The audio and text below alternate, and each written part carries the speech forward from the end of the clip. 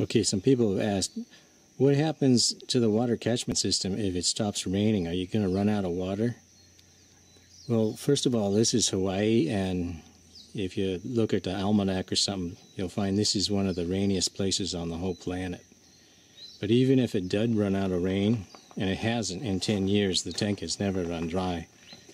But if it did, we have this backup pipe that goes up the hill and up the hill is another even larger agricultural tank which we can use to fill this one. We'll go take a look at that next.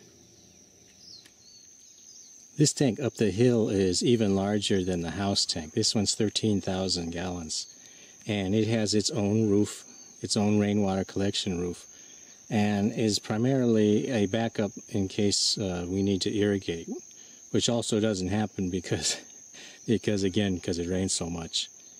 But if these tanks were to overflow, which is actually a very real possibility, you can see they've also got siphons, both tanks do. They have siphons on the side here. So the water will never go over the edge of the tank, it'll just run down through the siphon and drain into the soil.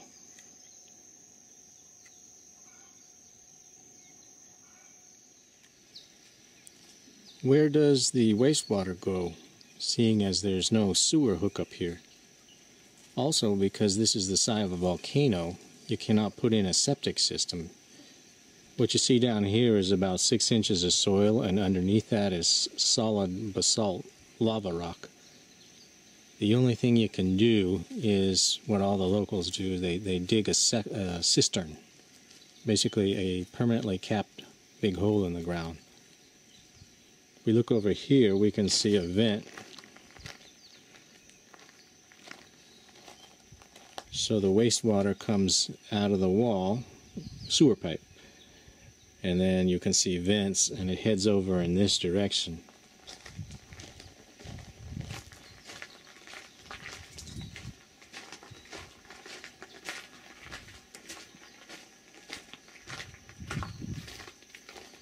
And here you see another vent pipe.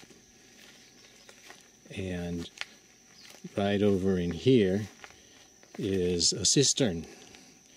And I know there's no way you can see it because it's buried under so much vegetation.